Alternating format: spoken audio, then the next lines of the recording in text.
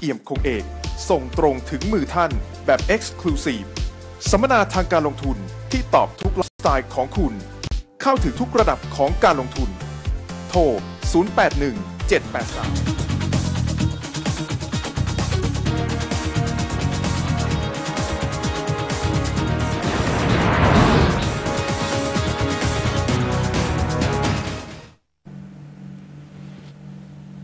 สวัสดีครับ รายการ 2 หุ้นครับ สวัสดีท่านผู้ชมที่รับชมผ่านทางสถานีโทรทัศน์ช่องสวนภูมิ แล้วก็ผู้ที่รับชมผ่านทาง Facebook Live นะครับวันนี้อยู่กับผมนะครับนัดแก้วบริสุทธิ์กุลนะครับ จากครั้งที่แล้วที่เราได้มีการสัมภาษณ์คุณชอโชติวงศ์ไว้นะครับ ถึงเรื่องการดูวิเคราะห์ทางเทคนิค ว่าสามารถดูแบบไหนได้บ้างในเป้าหมายของเซตที่มีโอกาสขึ้นไปถึง หรือแม้กระทั่งแนวโน้มของการว่าถ้าเกิดเซตปรับฐานลงมาเนี่ยจะปรับฐานลงมาได้อย่างไรนะครับ สำหรับวันนี้ก็ยังอยู่กับคุณชอโชติวงศ์นะครับ คุณชอโชติวงศ์เพชรไพศิษฐ์สวัสดีครับคุณชอครับ สวัสดีครับอ่าจากคราวที่แล้วนะครับที่เราได้พูดถึงเรื่องการปรับตัวของเซตหรือการเทียบกราฟต่างๆนะครับ วันนี้เราก็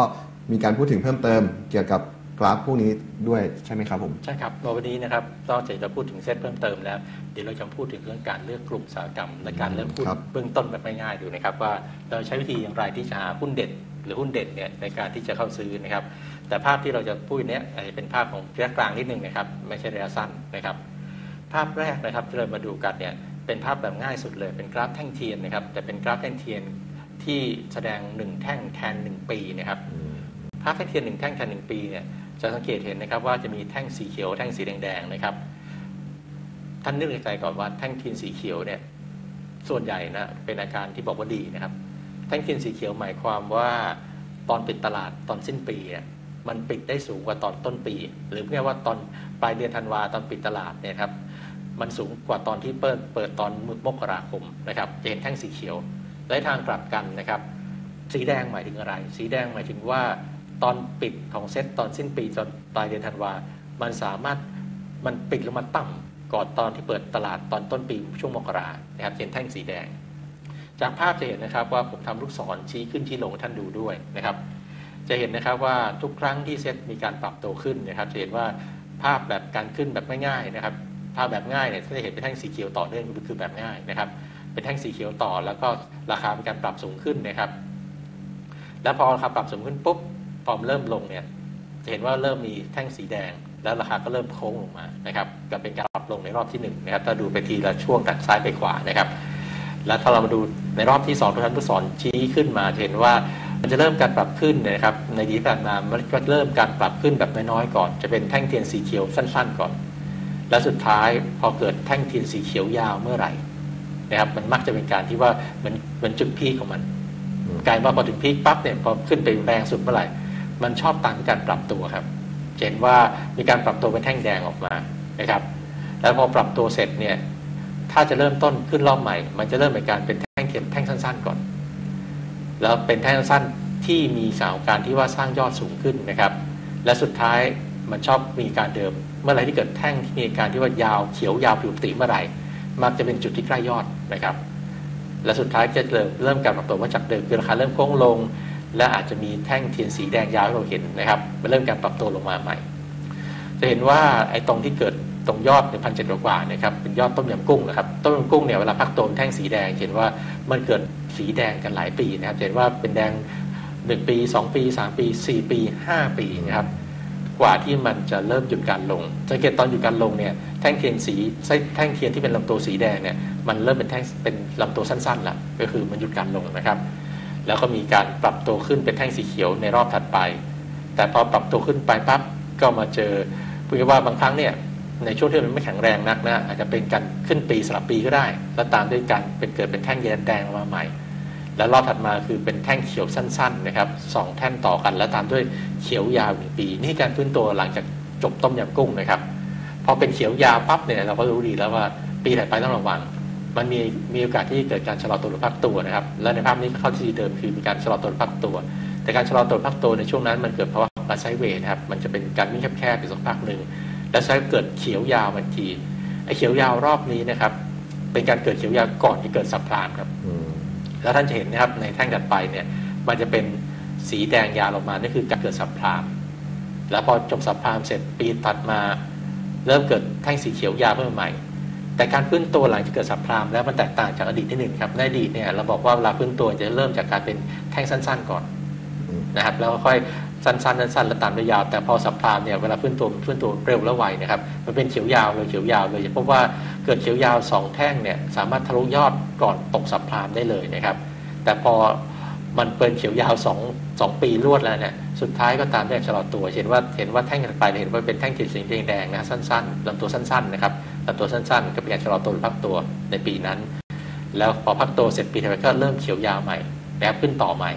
พอขึ้นยาวต่อปุ๊บปีถัดไปก็เกิดการชะลอตัวนะครับชะลอตัวไปปีหนึ่งเป็นแดงๆ แต่แท่งสีแดงไม่ค่อยไม่ขยับลำตัวไม่ค่อยแดงๆไม่ยาวเท่าไหร่นะครับแต่ได้พักตัวแล้วปีถัดไปก็กลับมาขึ้นต่อพอขึ้นต่อเป็นเขียวยาวใหม่ปีถัดไปก็เกิดแดงยาวใหม่เป็นการพักตัวอีก แล้วพอมาปี 2016 นะครับก็เป็นการสลับเป็นเขียวยาวขึ้นมาใหม่ ซึ่งถ้ามันเป็นการไซด์เวย์แบบเดิมเนี่ยมันคงจะเป็นแบบเดิมที่เป็นแดงปีเขียวปีใช่ไหมครับแต่ปรากฏว่าปีที่แล้วไม่ใช่เลยครับ แทนที่ปี 20 2017 ปีแล้วมันจะเป็นการปรับตัวเป็นแดงยาวใหม่ มันเป็นการทะลุพันหกนะครับด้วยการเป็นแท่งเขียวยาวขึ้นมาใหม่ และเป็นการพูดง่ายว่าเป็นการไซด์เวย์เสร็จเลือกทางขึ้นครับและสุดท้ายปีนี้ก็ยังเป็นการปีนี้ยังไม่สิ้นปีนะครับยังบอกไม่ได้ว่าปลายปีจะดีหรือเปล่า แต่ณตอนนี้เดือนมกราเนี่ยจะเป็นสานการณ์ที่เป็นแท่งเขียวอยู่หมายครับว่าตอนสิ้นเดือนมกราเนี่ยยังสามารถปิดได้สูงกว่าต้นเดือนมกรานะครับ มันก็ยังเป็นยังเป็นแล้วตอนนี้เป็นแท่งเขียวอยู่นะครับนี่คือภาพปัจจุบันนะครับ ซึ่งภาพปัจจุบันเราเห็นนะครับว่าเราสามารถขึ้นทะลุยอดพันเจ็ดกว่าอันเดิมขึ้นไปได้แล้วนะครับ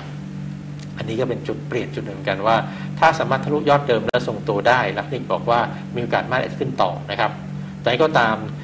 เดี๋ยวเราดูภาพไปที่เราเคยพูดตอนที่แล้วว่าเพราะปัจจุบันเนี่ยมันมีความน่ากลัวอย่างหนึ่งคือมันมีซันโอเวอร์บอสในบางสัญญาณที่ต้องมาระวังนะครับครับ ตอนนี้เรามาดูภาพอีกแนวทางหนึ่งนะครับ ในเชิงของการนับแท่งบ้างสังเกตไหมครับว่าในภาพที่ผมวงไว้นะครับ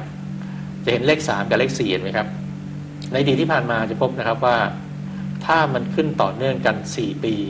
หรือ 3 ปีเมื่อไหร่ หรือเป็นเขียวแท่งเขียวๆเนี่ยต่อเนื่องกัน3ปีหรือ4ปีเมื่อไหร่ มักจะตามด้วยการปรับตัวนะครับอืมนี่เป็นการนับแท่งนะครับ เห็นไหม ส่วนใหญ่นะครับยกเว้นบางช่วงที่เป็นไซด์เวย์ช่วงไซด์เวย์เนี่ยอีกเรื่องหนึงอาจจะสั้นกว่านั้น แต่ถ้าเป็นช่วงยาวหน่อย มันจะขึ้นต่อเนื่องเนี่ยสปีหรือ 3 ปีแล้วจะปรับตัวนะครับแล้วถ้ามาดูแท่งสุดท้ายที่วงเป็นกรอบสี่เหลี่ยมสุดท้ายเห็นว่าตอนนี้เรามากัน 3 ปีแล้วนะครับปีนี้ปีที่ 3 ปีนี้ปีที่3เนี่ยถ้าปีนี้ยังต่อเนื่องได้เป็นเขียวนะครับก็ถือว่าโอเค ปีนี้รอดตัวไป แต่ต้องไประวังปีที่ 4 ปีนี้ว่าจะสามารถต่อปีที่ 4 ได้ไหมครับถ้าต่อปีที่สี่ยังเป็นเขียวต่อไปอีก ปีปีที่ห้าระวังครับ เพราะว่าอดีตที่ผ่านมามันไม่เคยต่อเนื่องถึงห้าปีอย่างครับเก่งสุดมันเขียวต่อเนื่องสี่ปีนะครับอืมครับ คราวนี้มาดูภาพในแง่ของภาพแพทเทิร์นมางนะครับภาพแพทเทิร์นในสัปดาห์ที่แล้วเราเคยทำให้ดูระดับหนึ่งแล้วนะแต่ภาพนี้ผมจะทำให้ดูให้ชัดอีกรอบหนึ่งนะครับจะเห็นว่า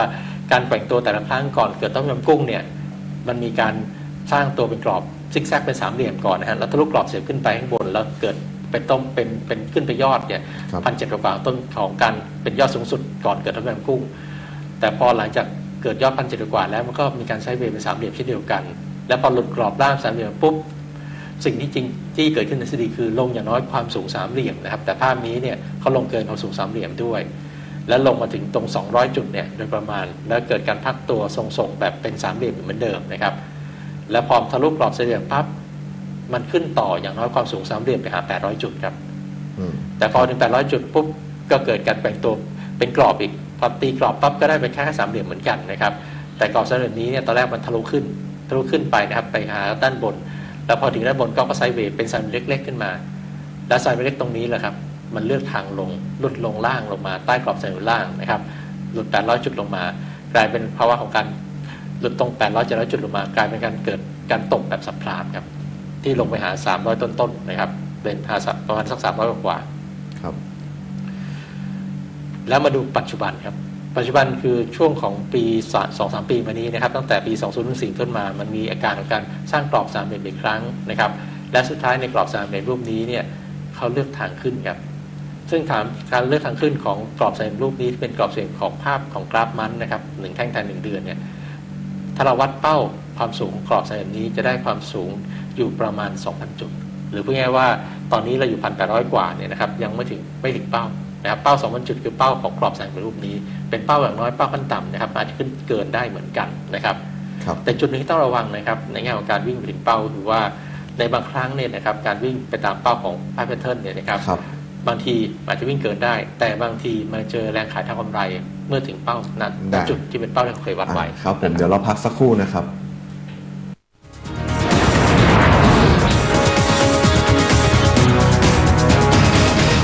ช้คอนกรีตแห้งขนง่ายใช้สะดวก และจะดียิ่งขึ้นถ้ามีกำลังอัดสำหรับการใช้งานที่ต่างกัน TPI M401 ด้วยกำลังอัด 180 KSC เหมาะสำหรับเทพื้นปรับระดับ คอนกรีตหยาบ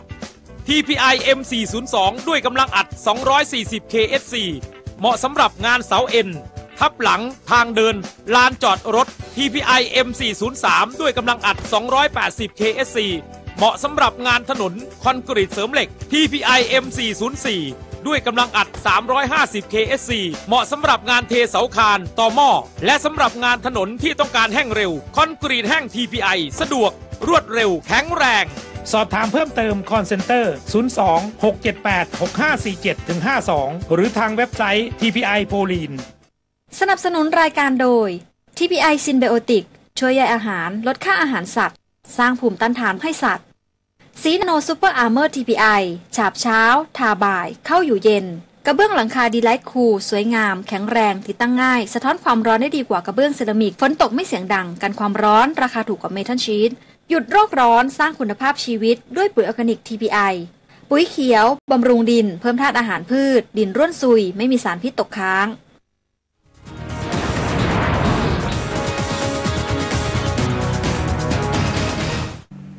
ครับกลับมาสู่ช่วงที่ 2 ของรายการครับ เดี๋ยวเรามาต่อกันเลยกับคุณชอโชติวงศ์ครับผมครับในภาพถัดไปที่จะพูดเนี่ยครับอันนี้เป็นภาพที่เราลงมาภาพที่เล็กกว่านี้เมื่อกี้หน่อยนึงนะครับเมื่อกี้เราดูภาพหนึ่งแท่งถึงหนึ่งเดือน ตอนนี้กราฟหนึ่งแท่งของเราแทนหนึ่งสัปดาห์นะครับ ในภาพนี้เนี่ยนะครับต้องบอกว่า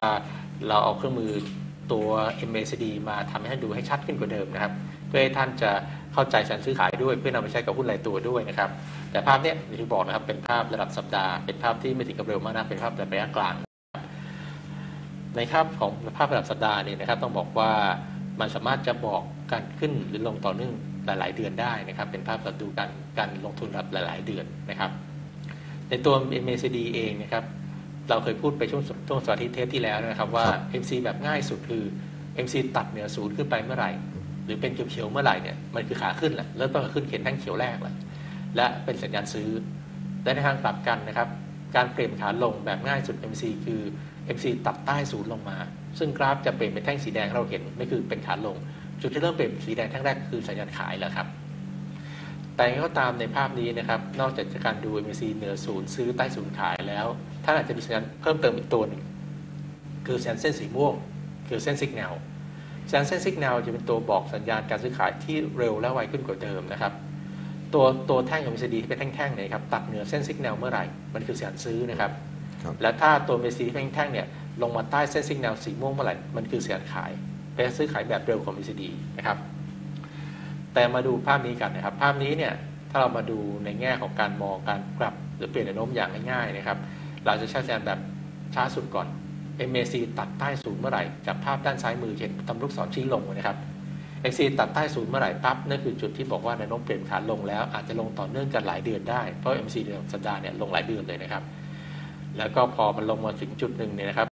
ในปี 20 2014 จะเห็นว่า MC เริ่มตัดเหนือศูนย์อีกรอบนะครับ เป็นลูกศรชี้ขึ้นมานะครับ เป็นลูกศรที่2แหละชี้ขึ้นมา จุดนี้ก็เป็นจุดที่ราคาเริ่มปรับตัวเซ็ตเนี่ยปรับตัวขาขึ้นและขึ้นต่อเนื่องกันหลายเดือนนะครับแต่ในรอบนั้นเนี่ยเซ็ตปรับขึ้นมายังไม่ถึงยอดเดิมนะครับ ปรับตัวขึ้นมาจริง ค่พันหเองยังไม่ถึงยอดเดิมที่เป็นพันหกกว่าแล้วใช้ก็ปรับตัวลงมานะครับ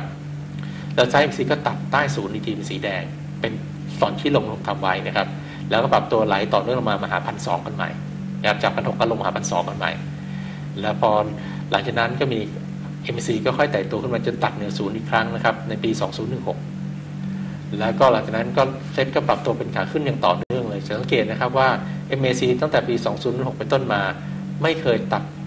ใต้ศูนย์ลงมาเลย เป็นซีระดับสัปดาห์นะครับ เพราะในแง่ของการมองเรารู้เลยครับว่าตรงปี 2016 เนี่ย MC ระดับวีคหรือระดับสัปดาห์ตัดเหนือศูนย์ปุ๊บเนี่ย เป็นจุดที่เราควรจะซื้อหุ้นถือลงทุนแล้ว เพราะว่าอาจจะขึ้นต่อเนื่องกันหลายเดือนมาก แต่ภาพนี้ไม่ใช่แค่หลายเดือนนะครับ ภาพนี้มันขึ้นต่อเนื่องกันเป็นปีเลยนะครับครับและภาพนี้ยังคงสภาพขาขึ้นอยู่นะสังเกตนะครับ MC ในด้านทางขวามือสุดยังคงเหนือศูนย์อยู่นะครับ และก็เข้มแข็งด้วยเพราะ MC ทั้งเหนือศูนย์และเหนือสิกแนลด้วย จากภาพรายสัปดาห์นี้นะครับ เรามาต่อด้วยภาพค่าเงินบาทบ้างครับในแง่ภาพบาทเองถ้าเรามาดูกราฟรายสัปดาห์นะครับ จะเห็นนะครับว่าใช้หลักการเดียวกันนะครับ ในประเมินค่าบาท จะเห็นเลยนะครับว่าค่าบาทมีการแกว่งตัวตามที่สั่ง MC เช่นเดียวกัน MC ตัดในศูนย์เป็นสีเขียวเมื่อไหร่ ค่าบาทก็จะวกขึ้นหรืออ่อนค่านะครับ ถ้า MC ตัดใต้ศูนย์เห็นเป็นลูกศรชี้ลงนะครับ เป็นแท่งสี MC เป็นสีแดงเมื่อไหร่คือค่าบาทมีทางที่วกลงคือเป็นแข็งค่านะครับ และไม่แข็งค่าต่อเนื่องเป็นเป็นหลายๆเดือนด้วยนะครับ ในภาพพันบาทเนี่ยจะเห็นนะครับว่า M ตัว MCD เนี่ยบอกการขึ้นและลงต่อเนื่องค่าบาท หรือการแข็งค่าต่อเนื่องหรืออ่อนค่าต่อเนื่องได้ดีนะครับ แต่จุดที่อยากให้ท่านดูหรือสนใจพิเศษก็คือด้านขวามือครับ ลูกศรขวามือสุดท่านจะเห็นนะครับว่า เป็นลูกศรชี้ลง MC ตัดใต้ศูนย์ลงมาเป็นแท่งสีแดง ตั้งแต่ต้นปีที่แล้วหรือปี 2017 นะครับ หลังจากมกราปี 2017 ต้นไม้ซีอยู่ใต้ศูนย์ตลอดนะครับ แล้วก็กราฟก็ทิ่มหัวลงตลอดคือหมายความว่าค่าบาทมีการแข็งค่าต่อเนื่องตลอด ซึ่งจากการมองสถานนี้คือว่ากราฟยังแสดงอาการตั้งแต่ 2007 ว่าค่าบาทจะแข็งค่าเราแข็งค่าต่อเนื่องหลายหลายๆเดือนหรืออาจเป็นปีนะครับทำให้ภาพนี้มันเชียร์ว่าเซ็ตน่าจะขึ้น และขึ้นตั้งแต่ต้นปี 2017 เป็นต้นมา ถ้าเราคะเนจากตรงนี้ว่าน่าจะเป็นขาขึ้นแล้วขึ้นต่อเนื่องนะครับ ตามภาพค่าบาทที่การแข็งค่าเนี่ยตอนต้นปี 2017เนี่ย เราควรจะซื้อหุ้นดีเข้าพอร์ต แล้วถือลงทุนหุ้นที่เป็นพื้นฐานดีนะผลผลประกอบการดีแล้วกราฟเป็นขาขึ้นด้วย แล้วถือลงทุนไปนะครับเพราะปัจจุบันนะครับ ต้องบอกว่าค่าบาทแข็งค่าลงมาเยอะแล้วนะครับ แล้วก็ MC ก็คงยังมีสาการแข็งค่าอย่างต่อเนื่องเพราะยังใต้ใต้ signal อยู่นะครับ ถ้าบาทถ้ายังเป็นอาการนี้อยู่ MC ยังคงใต้ศูนย์ใต้ซิกแนลอยู่เนี่ยเพราะการแข็งค่ายังคงมีต่อไปนะครับ ถึงแม้จะแข็งค่าต่อเนื่องมามากแล้วก็ตาม ซึ่งถามว่าดีต่อเซตไหมดีครับ ถ้าบาทแข่งค่าต่อเนื่องอยู่เนี่ยเซตมันจะไม่ลงง่ายๆนะนะครับเซตจะลงใหญ่หรือลงเยอะเมื่อไหร่ ก็ต่อเมื่อค่าบัตรเปลี่ยนพลิกเป็นการอ่อนค่าอย่างต่อเนื่อง หรือ MCD ในภาพนี้ เป็นสีเขียวเราเห็นเมื่อไหร่นั่นแหละครับสัญญาณอันตรายคราวนี้มาดูกลุ่มนะครับ กลุ่มที่อยากให้ท่านดูนะครับ เป็นตัวอย่างครับเป็นตัวอย่างให้ดูว่าถ้าเราใช้การดูภาพระดับสัปดาห์ หรือ MCD ระดับสัปดาห์เนี่ยมาเทียบกับกลุ่มสาหกรรมบ้างนะครับ จะเห็นว่ามันสามารถบอกจุดเปลี่ยนนวโน้มได้ดีเพราะถ้าจะดีสมควรเลยครับในกลุ่มปิโตรเคมีนะครับถ้าดูจากด้านซ้ายเป็นต้นมานะครับเห็นว่ามันมีการกลับทิศ MC เหนือศูนย์บ้างใต้ศูนย์บ้างอยู่เรื่อยๆนะครับ แต่การกลับทิศในช่วงเวลานั้นนะในช่วงเวลาก่อนหน้านั้นเนี่ยเป็นการเป็นการขึ้นและลงจริงๆแล้ว ถ้าดูยาวๆเนี่ยมันเหมือนการวิ่งออกข้างหรือไซด์เวย์นะครับแต่เป็นไซด์เวย์ที่ค่อนข้างจะกว้างพอสมควรนะครับเพราะเป็นการไซด์เวย์ในในแง่ของการเป็นขึ้นเป็นเดือนลงเป็นเดือน แต่พอมาปีที่แล้วครับโทษโทษปี 2016 2 ปีประมาณครับประมาณปี 2016ต้นปี 2006 เนี่ย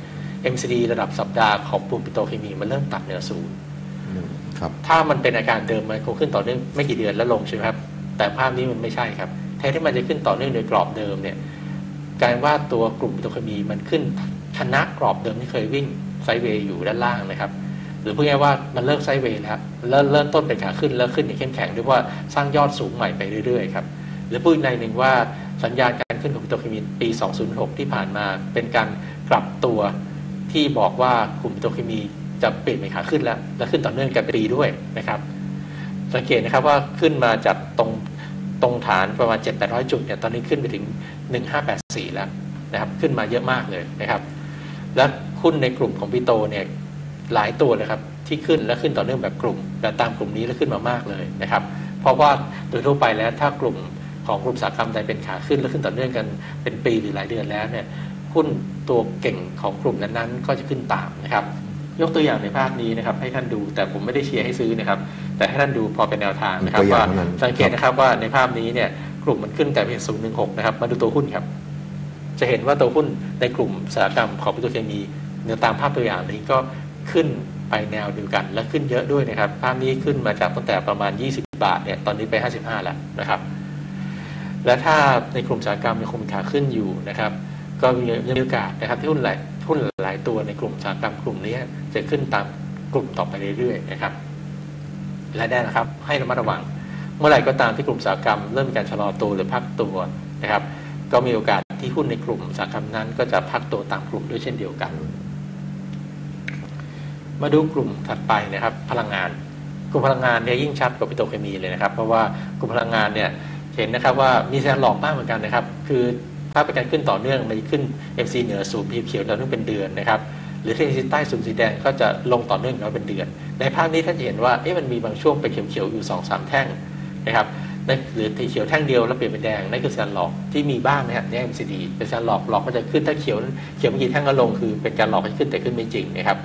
เกิดบ้างเหมือนกัน แต่ไม่ถึงกับบ่อยมากนักนะครับในภาพการแกว่งของตัวพลังงานเหมือนกันนะครับในดีที่ผ่านมามีการแกว่งขึ้นแกว่งลงเหมือนกันนะครับ แล้วก็ไอ้จุดที่มีการลงหนักๆนะครับ ก็คือจุดในช่วงปี 2015 นะครับ จาก 2015 ไปปั๊บเนี่ยนะครับจะเห็นว่า MACD ตัดลงมาใต้ศูนย์แล้วลงต่อเนื่องกันเป็นปีเลยนะครับ 2015 ลงทั้งปีเลย และมาเริ่มฟื้นตัว MC ตัดเหนือศูนย์มาใหม่ตอนปี 2016 2016 MC ตัดเหนือศูนย์ขึ้นมาใหม่นะครับ แล้วกลุ่มพลังงานเนี่ย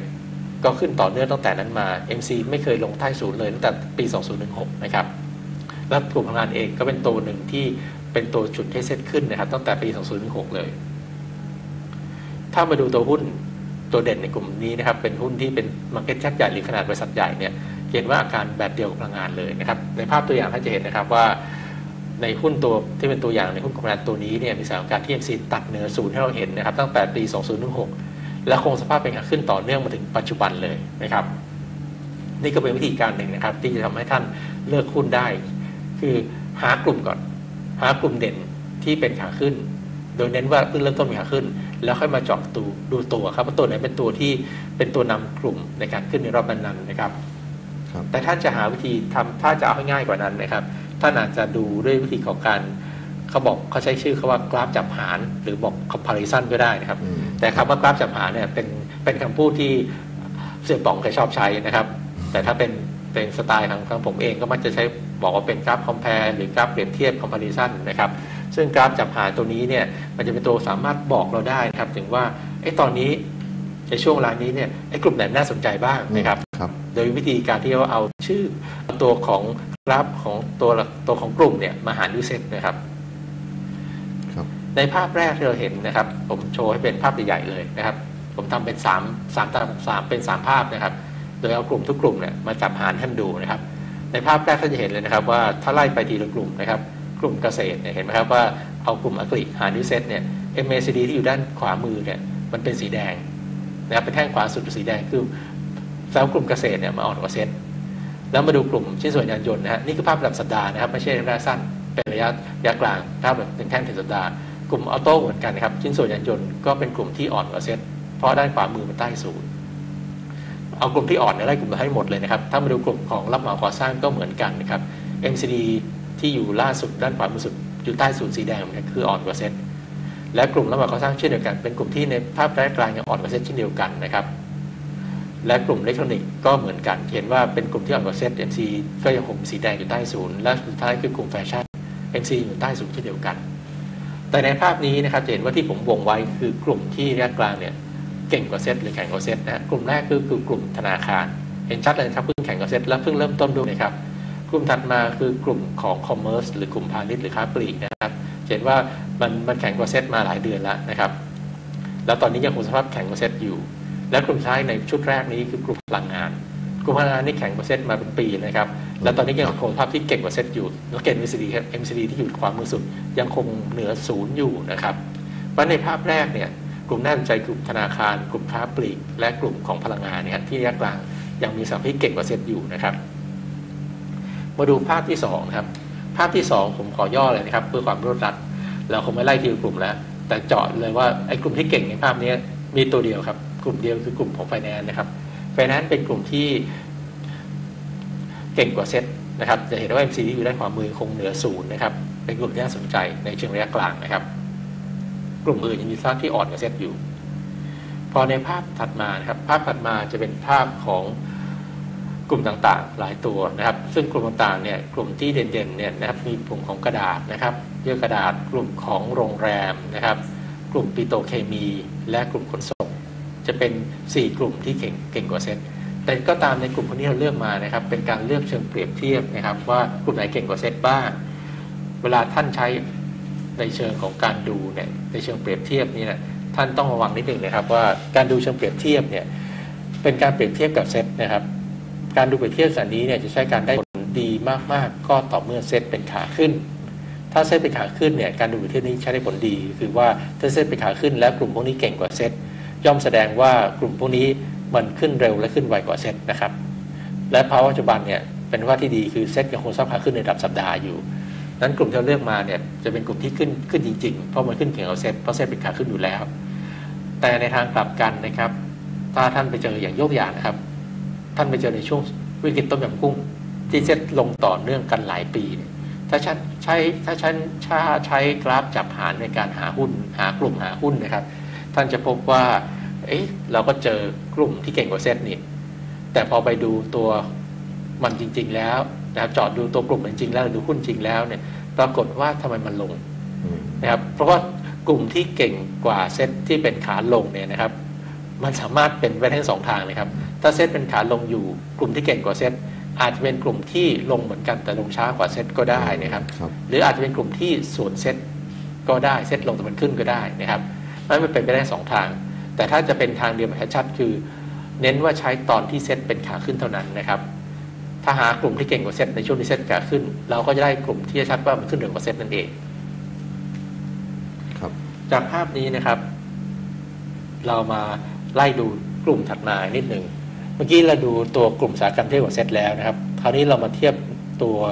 เซต50เซตร้อยและ MAI นะครับหรือเซตไฮเดฟนะครับเซตไฮดีเวเดนผู้ผิดเซตไฮดีเวเดนเนี่ยเทียบกับเซตดูนะครับ เราก็จะพบว่าถ้าเอากลุ่มพวกนี้มาเทียบเซตแล้วเนี่ย เราจะพบว่า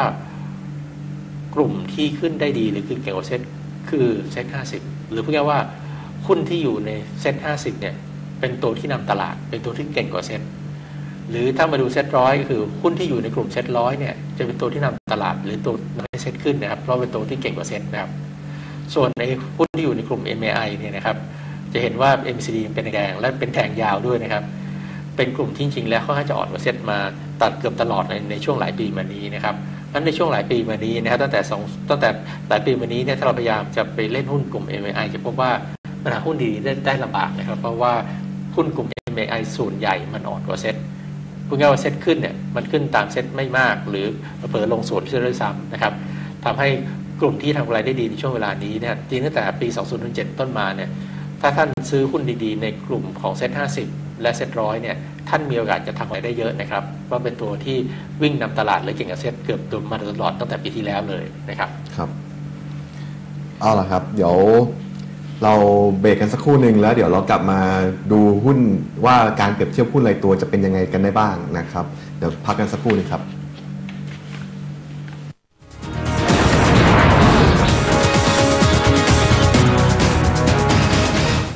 เทคโนโลยี digital printing ที่ทันสมัย TPI จึงสามารถสร้างสรรค์ผลิตภัณฑ์ที่ใช้ทดแทนไม้ได้อย่างลงตัว ไม้พื้น TPI ลามิเนตผลิตจากไฟเบอร์ซีเมนต์คุณภาพสูง น้ำหนักเบาติดตั้งง่าย บริษัทหลักทรัพย์ที่ปรึกษาการลงทุน เอกการลงทุนจำกัด คัดสรรหุ้นดีหุ้นเด่น โดยเอกพิทยาเอี่ยมคงเอก ส่งตรงถึงมือท่านแบบ Exclusive สัมมนาทางการลงทุนที่ตอบทุกไลฟ์สไตล์ของคุณ เข้าถึงทุกระดับของการลงทุน โทร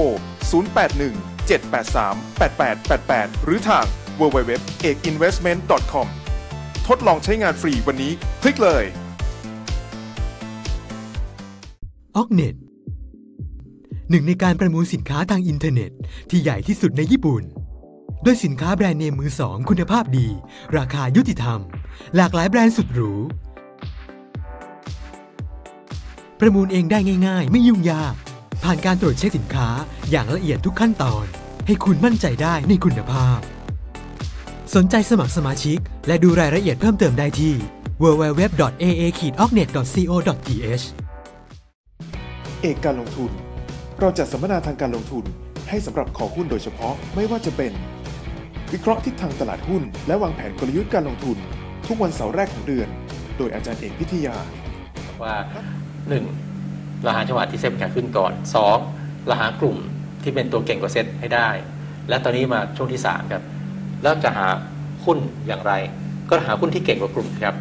เราจะเอาตัวชื่อหุ้นเนี่ยหารด้วยตัวกลุ่มมันนะครับ โดยกลุ่มเนี่ยเป็นกลุ่มที่เก่งกว่าเซตอยู่แล้วนะครับ กลายว่าถ้าเราหาตามอย่างนี้เราจะได้หุ้นที่เก่งกว่ากลุ่มเก่งกว่าเซตหรือขึ้นเก่งกว่ากลุ่มเก่งกว่าเซตนะครับในภาพที่เราดูตัวอย่างภาพแรกเป็นกลุ่มธนาคาร ที่เป็นกลุ่มที่กลางเก่งกว่าเซตอยู่แล้วนะครับจะเห็นนะครับว่า ตัวอย่างหุ้นที่ผมวงไว้เนี่ยเป็นตัวหุ้นที่เก่งกว่ากลุ่ม หรือเป็นตัวนำกลุ่มในเชิงระยะกลางนะครับจะเห็นว่า MACD ที่อยู่ด้านขวามือของกราฟจับหารเนี่ยเหนือศูนย์ครับ พวกนี้เป็นตัวที่มีสามการที่ว่าขึ้นเก่งกว่ากลุ่ม และเก่งกว่าเซตนะครับ แต่ก็ตามในภาพตัวอย่างนี้เป็นภาพระยะกลางนะครับ ในแง่ของการเอาไปใช้งานจริง หรือเป็นการซื้อขายจริง ท่านต้องดูตัวหุ้นรายตัว เฉพาะตัวอีกที แล้วถ้าจะเล่นสั้น ท่านต้องไปดูกราฟราย day นะครับเพื่อหาจังหวะดีๆว่าควรจะซื้อหรือขายตรงไหนนะครับเพราะภาพนี้เป็นภาพระยะกลาง ซึ่งภาพระยะกลางจะมีข้อดีอย่างหนึ่งคือว่าถ้าระยะกลางเป็นขาขึ้นนะครับ และระยะสั้นกราฟ day เราดูต่อเป็นขาขึ้นด้วย มันก็เสริมทางขึ้นกันนะครับ มาดูภาพชุดที่2นะครับของกลุ่มธนาคารก็มีหุ้นอีก 2 ตัวตามภาพตัวอย่างนี้ที่เป็นหุ้นที่เก่งกว่ากลุ่มเก่งกว่าเซ็ตนะครับ ในแง่ตรงนี้เราได้ภาพใหญ่แล้วตอนนี้หน้าที่เราคือต้องไปดูภาพย่อยนะครับ ว่าจังหวะในการซื้อเนี่ยจะซื้อยังไงซื้อตรงไหน หรือจะเล่นสั้นกลางยาวนะครับซึ่งท่านต้องไปดูต้องไปเรียนรู้วิธีการดูอีกทีนะครับ เพื่อหาจังหวะในการเข้าอีกครั้ง ในภาพถัดไปนะครับ ผมย่อเลยนะครับ เมื่อกี้เราดูทุกตัว แล้วก็แล้วก็มาไล่ดูตัวไหนเก่งกว่าเซตเก่งกว่ากลุ่มเก่งกว่าเซตบ้าง ตอนนี้ผมย่อนะครับ ถ้าเป็นกลุ่มของค้าปลีกหรือ commerce เนี่ยอันนี้ผมทำมาให้เลยคือตัดให้เห็นเลยว่าในค้าปลีก commerce เนี่ยในเชิงระยะกลางหรือกราฟระดับ week นะครับ ไอตัวที่เก่งกว่ากลุ่มเนี่ยนะครับก็มีตามภาพที่เราเห็นตรงนี้นะครับมีอยู่5มีอยู่ 5 ตัวครับเป็นตัวที่ระยะกลางเนี่ยมันเก่งกว่ากลุ่มเก่งกว่าเซตนะครับหุ้นกลุ่มพวกนี้ต้องบอกนะครับว่าตัวที่เก่งกว่ากลุ่มเซตระดับระดับสัปดาห์เนี่ยถ้ากราฟ day ที่เคยบอกนะกราฟระดับ day เป็นขาขึ้นด้วย และกราฟระดับ week เป็นขาขึ้นด้วย มันจะเสริมทางขึ้นกันและทำให้ขึ้นได้ดีนะครับแต่ถ้าเราดูกราฟระดับ day และหุ้นบางตัวเนี่ยมันเกิดเกิดการภาพเป็นขาลงนะครับ แล้วภาพระดับ week ของเราเป็นขาขึ้นอยู่เท่ากับว่าการปรับตัวลงอาจจะแค่ปรับตัวพักขาเพื่อขึ้นต่อได้นะครับก็ยังมีภาพระดับ week ที่ยังอยู่นะครับทำให้การปรับตัวอาจจะปรับตัวลงไม่มากนัก มาดูกลุ่มที่ 3 ที่เป็นกลุ่มเด่นอีกกลุ่มหนึ่งเชิงระยะกลางนะครับ คือกลุ่มของไฟแนนซ์นะครับ กลุ่มไฟแนนซ์เองจะเห็นว่ามีตัวหุ้นค่อนข้างจะเยอะสมควรนะครับ ที่มีสถานการณ์ที่มีการเก่งเก่งกว่ากลุ่ม เก่งกว่ากลุ่มเก่งกว่าเซตขึ้นมานะครับ แต่เวลาใช้เนี่ย ท่านดูดีนะครับดู MACD ให้ดี บางตัว MACD เนี่ยในเชิงเปรียบเทียบเพิ่งตัดเหนือศูนย์แถมเพิ่งเริ่มต้น บางตัว MACD ตัดเหนือศูนย์มานานแล้ว นั่นหมายความว่าเขาอาจจะเก่งกว่าเซตมานานแล้วนะครับ หรือบางตัว MACD เริ่มโค้งลงมานะครับ อันนั้นคือต้องเริ่มมาระวังก็เริ่มชักอ่อนตัวหรือให้ชักชะลอตัวนะครับ แต่ตัวที่ MACD ยังคงชี้ขึ้นอยู่นะครับ หรือแนวโน้มของ MCD เป็นแท่งสูงขึ้นเรื่อยๆเนี่ยเป็นตัวค่าจะเข้มแข็งนะครับ คราวนี้มาดูกลุ่มปิโตบ้างนะครับกลุ่มปิโตเคมีเนี่ยครับก็มีตอนนี้ก็มีอยู่ 2 ตัวที่เด่นๆนะครับคือภาพตามตัวอย่างที่ในจอนะครับเห็นว่าตัวด้านซ้ายเนี่ยเห็นว่าขึ้นมานานแล้วนะฮะเก่งมานานแล้วตัวด้านขวาเนี่ยเพิ่งเริ่มต้นเห็นแท่งสีเขียวเพิ่งเกิดขึ้นแท่งแรกนะครับ แต่ในตัวของการดูกับ compare compare เนี่ยต้องบอกนี่นะครับบางท่านเนี่ยยิ่งไปดูระดับ week เนี่ยท่านอาจจะบ่นว่าเฮ้ยมันช้าหรือเปล่าใช่ครับบางทีเนี่ยการดูระดับ week จะทำให้เกิดภาพที่ช้านะครับแต่เป็นช้าแบบมั่นใจมันจะเกิดการช้าหน่อย ซึ่งทำให้กว่าจะเกิดการบอกเราว่ามันเก่งกว่าเนี่ยราคาหุ้นอาจจะขึ้นไปสูงมากแล้วทำให้เวลาเราไปซื้อจริงๆเนี่ยเราจจะต้องไปดูกราฟดับเดย์และรอให้เกิดการชะลอตัวหรือย่อตัวมาหาแนวรับนะครับมาถึงจุดซื้อที่ดี มาดูกลุ่มของพวกโรงแรมกันบ้างนะครับ ในพวกกลุ่มของโรงแรมเองนะครับ จะมีตัวเด่นอยู่ 2 ตัว ตามภาพตัวอย่างนี้นะครับ แล้วในแง่กลุ่มแรกเองเนี่ยนะครับก็เป็น 2 ตัวเนี้ยที่ค่อนข้างจะมีการซื้อขายหรือค่อนข้างจะมีสภาพคล่องมากกว่าตัวอื่นด้วยนะครับแล้วเป็นไม่จะเป็นตัวนำในการขึ้นอยู่ตลอดเวลากลุ่มของโรงแรมมานะครับเห็นว่าทั้ง 2 ตัวเนี่ยจริงๆแล้วมันเก่งกว่าเซ็ตมาหลายเดือนแล้วนะครับ หลายเดือนแล้วและในช่วงสั้น ๆ ก็มีการปรับตัวหรือชะลอตัวบ้างเหมือนกันนะครับ ซึ่งตรงนี้นะครับเราคงต้องไปดูในกราฟตัวมันเองทีว่าในแง่ของแนวรับแนวต้านเนี่ย ถ้าคิดจะซื้อมันจะซื้อตรงไหนนะครับเพราะปกติเวลาจะซื้อเนี่ยถ้าหุ้นมันขึ้นต่อเนื่องกันมานานแล้วนะครับ จุดซื้อของเราเนี่ยคงต้องรอให้หุ้นมีการปรับตัวมาใกล้แนวรับ แล้วซื้อใกล้แนวรับนะครับ เราจะไม่พยายามที่จะไปไล่หุ้นที่ขึ้นมานานแล้ว แล้วไปซื้อตรงจุดที่ overbought มากๆเพราะหุ้นที่ขึ้นมานานแล้ว ถ้าเกิดเพราะ overbought มากๆโดยเฉพาะ overbought ใกล้แนวต้านนะครับ มันจะเป็นจุดที่อันตรายที่จะเสี่ยงกับการปรับตัว ซึ่งการปรับตัวบางครั้งอาจจะเป็นการปรับตัวชั่วคราวก็ได้ หรือบางครั้งถ้าโชคไม่ดีอาจจะเป็นการปรับตัวของการเปลี่ยนเป็นขาลงเลยก็ได้เหมือนกัน ซึ่งเราต้องดูสัญญาณอื่นผสมกันนะครับ แล้วท่านก็จะบอกจุดเปลี่ยนหรือจุดกลับทิศได้ดีนะครับ มาดูชุดสุดท้ายนะครับ ชุดสุดท้ายคือชุดของกลุ่มขนส่งกันบ้างครับ กลุ่มขนส่งเองจริงๆมีหุ้นหลายตัวนะครับ แต่ในภาพเชิงเปรียบเทียบเชิงระยะกลางเนี่ยจะมีแค่ 2 ตัวหุ้นเนี่ยนะครับที่ค่อนข้างจะเก่งเก่งกว่ากลุ่มและเก่งกว่าเซ็ตนะครับ ในภาพนี้จะเห็นนะครับว่า ถ้าเป็นหุ้นทางด้านซ้ายมือเนี่ยมันเก่งกว่าเซ็ตมานานแล้วนะตั้งแต่ปลายปี 2016 แล้วนะครับต่อเนื่องกันมาเป็นปีเลยนะครับ ที่ยังคงสภาพที่เก่งกว่าเซ็ตอยู่นะครับ แต่ถ้าเป็นหุ้นตัวที่อยู่ด้านขวาจะพบนะครับว่ามันเพิ่งเริ่มต้นมาไม่กี่เดือนเองที่เริ่มเก่งกว่าเซ็ตนะครับหุ้นชุดที่เราเลือกมานี้นะครับ อย่างที่บอกนะครับว่าอย่างแรกสุดต้องหาช่วงเวลาที่เซ็ตเป็นขาขึ้นก่อน และหากลุ่มที่เก่งกว่าเซ็ตแล้วค่อยมาดูตัวหุ้นว่าตัวไหนเก่งที่สุดในกลุ่ม และเก่งกว่าเซ็ตบ้างนะครับครับและจริงแล้วเนี่ยการเลือกตรงนี้ยังไม่จบนี้หรอก เพราะว่าเราจะต้องไปดูปริมาณการซื้อขายด้วยนะครับว่าประมาณการซื้อขายเวลาเราจะซื้อขายหุ้นจริงเนี่ยประมาณการซื้อขายหรือสภาพคล่องของเพียงพอหรือเปล่า เพราะหุ้นบางตัวที่อาจจะเก่งกว่ากลุ่มตัวเซ็ตแต่ปรากฏว่าปริมาณการซื้อขายมันน้อยหรือมาซื้อขายต่ำเนี่ยนะครับครับก็จะใช้วิธีนี้ไม่ได้ผลอืมเพราะหุ้นที่ปริมาณซื้อขายน้อยหรือต่ำเนี่ยนะครับ จะมีสถานการณ์ที่ว่ามันใช้เงินไม่มากก็ทำให้ขึ้น หรือทำให้ลงได้นะครับครับทำให้การพยากรณ์เทคนิคเนี่ยจะขาดความแม่นยำลงไป หรือในหนึ่งนะครับ ถ้าท่านจะเลือกหุ้นที่แสดงเทคนิคเขาจะแม่น คือพยายามหาหุ้นที่มีปริมาณการขายให้มากๆเข้าไว้ และเพิ่งเริ่มต้นเป็นขาขึ้น และไม่ overbought ด้วยนะครับไปทำให้การเลือกหุ้นของท่านเนี่ยสามารถจะได้หุ้นที่เพิ่งเริ่มต้น และสามารถขึ้นต่อเนื่องได้ และ ถ้ามี price pattern ที่เสริมทางขึ้นที่ดีนะครับอย่างภาพตัวอย่างที่เราเรียนไปแล้วเนี่ยถ้าเป็นสามเหลี่ยมทะลุสามเหลี่ยมด้านบนขึ้นไปได้เนี่ยก็เป็นการขึ้นต่อเนื่องน้อยเท่าความสูงสามเหลี่ยมได้นะครับครับ ก็ต้องบอกกันว่าใน2เทปที่ผ่านมาเนี่ยนะครับปัจจัยหลักๆ เลยที่เราต้องดูกันก็มีทั้ง indicator นะครับมี price pattern หรือที่ประเด็นที่อาจนักลงทุนที่เล่นกราฟเทคนิคใหม่ๆเนี่ย อาจจะไม่ค่อยคุ้นชินก็คือการปรับ time frame ถูกต้องไหมครับ ใช่ครับ การปรับ time frame นะครับที่ท่านอาจจะไม่คุ้นชิน และอีกเรื่องหนึ่งที่เราไม่ได้พูดเลยในสองเทปนะครับครับคือการลากเส้นแนวโน้มนะครับอืมหรือ trend line ซึ่งจริงแล้วจริงวิธีการลากเส้นโน้มเทรนไลน์ก็เป็นวิธีอีกอันที่สำคัญนะครับเพียงแต่ว่า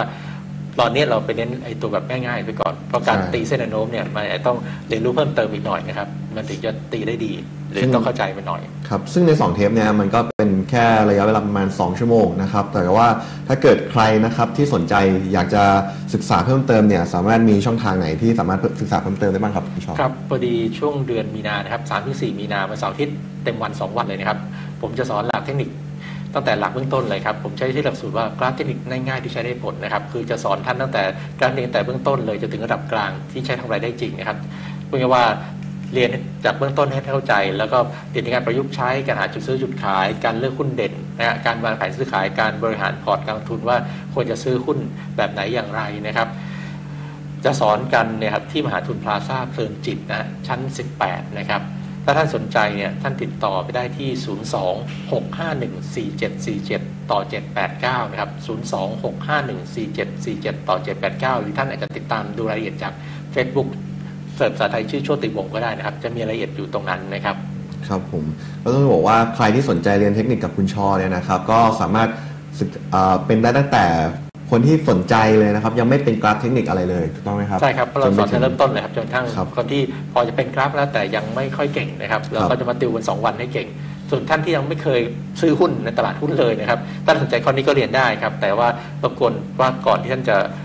เข้าเรียนหรือตอนสมัครท่านแจ้งนิดหนึ่งนะครับเผื่อผมจะจะได้ติวพิเศษท่านเพิ่มเติมนิดหนึ่งสำหรับท่านที่ไม่เคยซื้อขายหุ้นเลยนะครับหรือแม้แต่ว่าใครที่สนใจอยากจะมีกราฟแบบที่ เป็นเหมือนกับ professional ใช้กันเลย อันนี้ก็สามารถติดต่อทางคุณชอได้เหมือนะนคกัรับ ติดต่อได้ใช่ไหม้ครับเบอร์เดิมครับครัที่บ0 2 6 5 1 4 7 4 7ต่อ789นะครับก็จะเป็นท่านต้องการไอตัวกราฟแบบที่ผมใช้เนี่ยหรือกราฟที่นักวิเคราะห์ทั้งหลายใช้เนี่ยเป็นกราฟของ s p อ d เนี่ยท่านติดต่อมาที่เบอร์นั้นได้เหมือนกันครับครับผมก็ต้องต้องบอกกันเลยว่าอย่างเช่นกราฟ compare เนี่ยนะครับเป็นกราฟที่มีประสิทธิภาพค่อนข้างสูงเลยทีเดียว ซึ่งไม่ได้ว่ากราฟทั่วไปในตลาดเนี่ยจะมีให้ใช้กันนะครับถ้าเกิดใครอยากจะแบบว่า ทำให้ได้เหมือนเซียนทั้งหลายอะไรอย่างนี้นะครับ ก็ลองศึกษาดูได้ไม่ว่าจะเป็นคอร์สการเรียนหรือว่าจะเป็นกราฟพวกนี้นะครับสำหรับวันนี้ยังไงก็ต้องขอขอบคุณคุณชอมากนะครับผมขอบคุณครับก็สวัสดีครับเอาละครับสำหรับวันนี้นะครับรายการสองหุ้นก็มาถึงในช่วงสุดท้ายแล้วนะครับกับใครที่เหมือนเดิมนะครับฝากไว้ใครที่สนใจการอบรมคอร์สนะครับ ก็ติดต่อไปได้ที่เบอร์นะครับ 02 651 4747 ต่อ 789 นะครับ สำหรับวันนี้การสองหุ้นสวัสดีครับ